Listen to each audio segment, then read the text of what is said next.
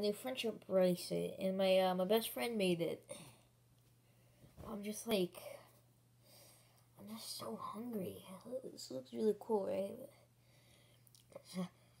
Mm.